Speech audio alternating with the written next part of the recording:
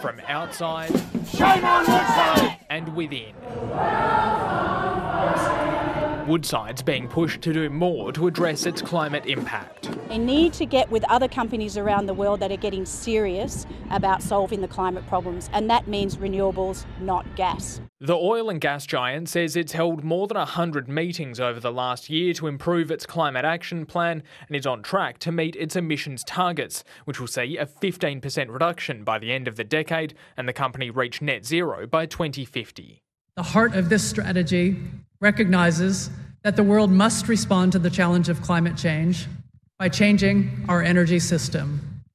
And we intend to be part of the solution. Woodside says its gas, including from the Scarborough project it's building off the Pilbara coast, is a key part of that solution, despite experts calling for no new gas projects to limit the effects of climate change. We want to thrive through the energy transition. Um, we want to help our customers decarbonise. We believe that um, climate change is real, uh, but we want to do it in a measured way. The company's focus on using gas as a transition fuel shared by the state government. People need to be cognizant of all those things, not simply sticking to a simplistic notion that we can just somehow turn off the taps and everything will be fine. It won't. Despite a push by some to remove him, Chair Richard Goyder was re elected, albeit with a 17% vote against him. The bigger pushback on the company's climate plan, though, with 58% voting it down.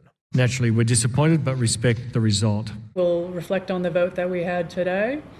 Um, we'll engage with our core shareholders and understand more from them. Activists have been campaigning with messages like this for years, but they hope having more shareholders on side might result in faster change. They need to start acting on climate change. Um, investors are, are, are losing their patience for companies that cannot find an alternative other than to continue developing fossil fuels. A potential warning for the rest of the corporate world as Woodside promises to consult more on its future plans. Keane Bourke, ABC News.